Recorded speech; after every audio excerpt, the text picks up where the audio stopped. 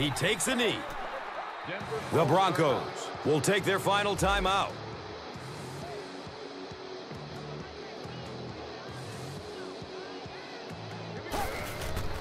And he'll just kneel it here. Offside. And the defense might have just given them five yards with the offside. The penalty is declined.